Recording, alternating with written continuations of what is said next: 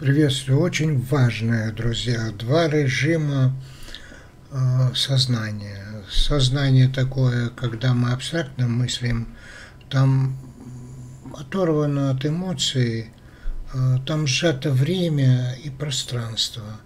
Это философское мышление.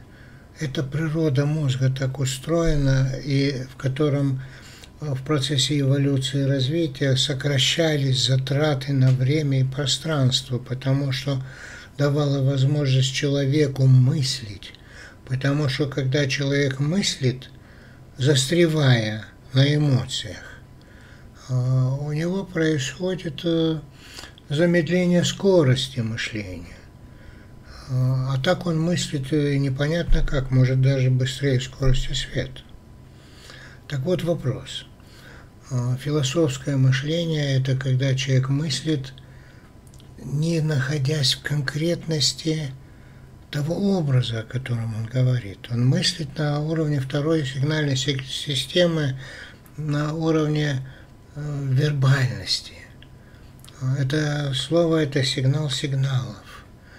Так вот, представьте себе, мы сейчас замедлим мышление – Например, мы начнем думать о таких вещах, которые сразу вызывают рефлексы. У нас, естественно, замедлится мышление, и мы перестанем воспринимать реальность, а начнем находиться именно в том, о чем мы думаем.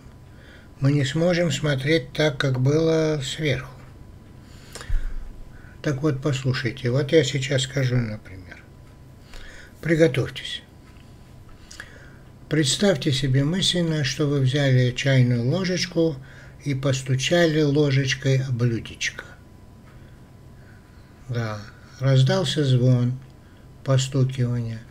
Теперь вообразите, что вы размешиваете в чашечке с чаем. Да. Вообразите, что вы взяли руками нож, вообразите, и порезали кусочек лимона, взяли ломтик лимона и стали его жевать. Вообразите, у вас пошел рефлекс слюны. Вы представляете? Вот был первый режим, когда вы мыслили экономно, абстрактно. Ну, там что-то я сказал, и вы там что-то подумали. А здесь вот, когда я говорю, вы начинаете в это погружаться. Потому что слова, которые я произношу, образы, которые возникают, вызывают рефлексы, реагирование. Да, и время, я по существу время расширяю, то есть я вас погружаю словами в состояние отрываю от той реальности, в которой вы находились. Но в следующий раз еще больше расскажу, но это очень интересно.